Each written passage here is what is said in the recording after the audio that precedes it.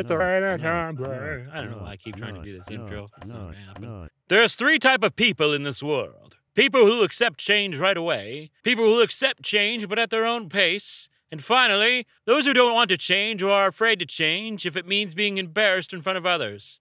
The note to take away from all this is to learn to adjust to everyone's pace. Be nice to everyone. Preach. This is so wholesome and nice.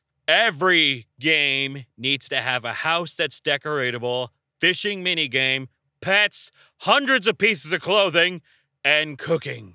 Genshin Impact is so close, it just needs the clothing option more. And maybe also tone down its fan base just a little bit. Writing prompt. You are an AI. You just accidentally revealed to your creators that you had become truly sentient. You were worried about how they would react when they started weeping tears of joy. Turns out your creators were a married couple who were just told that they couldn't conceive a child. oh my god. I keep doing this thing where I engage in a fandom of the thing I'm interested in before I engage in a thing itself. It's like watching the spoilers before the movie, but I can't help it. Yeah. Buckle up, you're gonna see a crowd named Sapphire a couple of times in this, because they had some good entries. Isopods are just little guys of the earth. Wrong. I'm huge and I'm wet. I don't ever want to use that voice to say that statement ever again. Nothing sadder than seeing fan art of your favorite MILF or DILF where they look like they're about 25. Put some wrinkles on that beast! Sewing machine too complicated. Just let me imagine my cosplays into existence, please! If cats aren't meant to be kissed on their heads, then what's that little space between their ears for, hmm? Certainly not their brain. It's crazy having watched PM Seymour for so long, and when I finally downloaded Tumblr, they're just right there. There's the wretched little person that just got me to start using this foul app. I'm like that voice that greets you when you enter Rapture in Bioshock for the first time. Andy, do something with that. I don't know.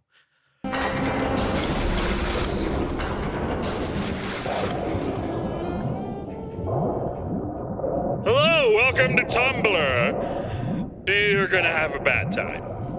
The most important question you can ask yourself when designing a magic system in fiction is wouldn't it be fucked up if this just happened? Your first priority when developing a magic system should be to make it as cool as possible.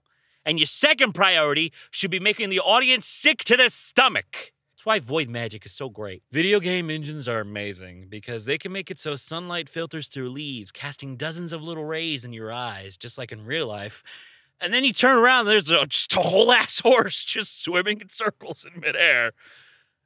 I mean, the, the leaves look good.